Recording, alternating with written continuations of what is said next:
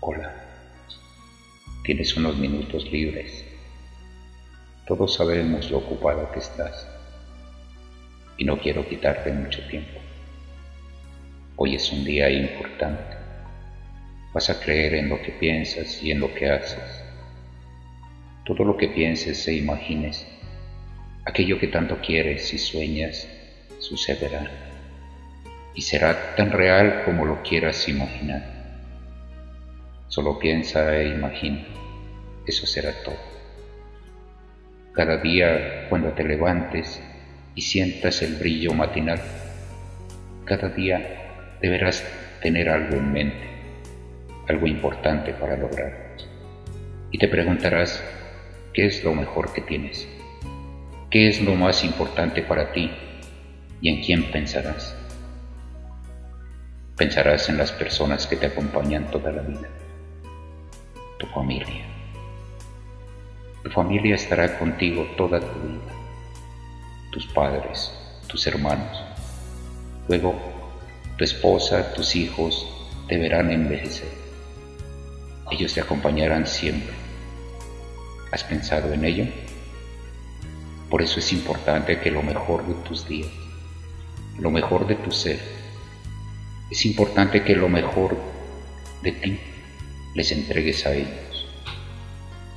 Es la mejor manera de vivir para luego trascender. De esta manera serás inmortal en sus vidas. Piensa, ¿qué es lo mejor que tienes para darles?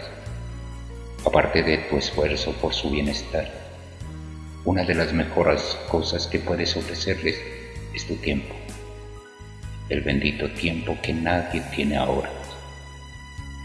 Tu tiempo es lo mejor que puedes darles, además de tu esfuerzo por su bienestar. Separa unos minutos de tu día para ofrecer muchas alegrías que solo tú puedes dar. Una sonrisa para tu esposa, un pequeño juego con tu hijo, escuchar aquello que tus hijos quieren contarte. Solo tú vives en su mundo. No hay mejor protección que ellos puedan recibir si tú no les das lo mejor de ti, tu tiempo.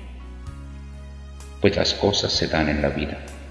Solo necesitas un par de minutos para volver especial un día cualquiera, en un día inolvidable para tu hijo, para tu madre, para tu hermano, para tu prójimo. Si tú eres algo especial, entonces haz cosas especiales. Si eres alguien muy valioso, entonces haz cosas valiosas.